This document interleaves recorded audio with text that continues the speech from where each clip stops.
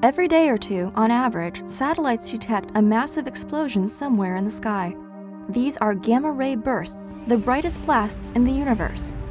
They're thought to be caused by jets of matter moving near the speed of light associated with the births of black holes. Gamma ray bursts that last longer than two seconds are the most common and are thought to result from the death of a massive star. Shorter bursts prove much more elusive. In fact, even some of their basic properties were unknown until NASA's SWIFT satellite began work in 2004. Astronomers suspected that crashing neutron stars could explain short bursts. A neutron star is what remains when a star several times the mass of the Sun collapses and explodes. With more than the Sun's mass packed into a sphere less than 18 miles across, these objects are incredibly dense.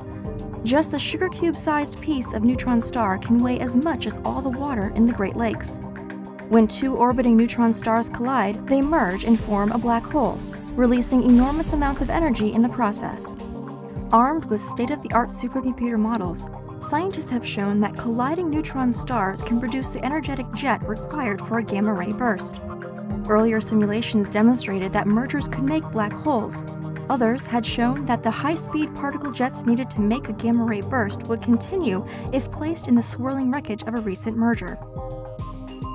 Now, the simulations reveal the middle step of the process how the merging star's magnetic field organizes itself into outwardly directed components capable of forming a jet. The Damiana supercomputer at Germany's Max Planck Institute for Gravitational Physics needed six weeks to reveal the details of a process that unfolds in just 35 thousandths of a second. The new simulation shows two neutron stars merging to form a black hole surrounded by superhot plasma. On the left is a map of the density of the stars as they scramble their matter into a dense hot cloud of swirling debris. On the right is a map of the magnetic fields, with blue representing magnetic strength a billion times greater than the Sun's. The simulation shows the same disorderly behavior of the matter and magnetic fields. Both structures gradually become more organized, but what's important here is the white magnetic field. Amidst this incredible turmoil, the white field has taken on the character of a jet, although no matter is flowing through it when the simulation ends. Showing that chaotic magnetic fields suddenly become organized as jets provides scientists with the missing link it confirms that merging neutron stars can indeed produce short gamma ray bursts.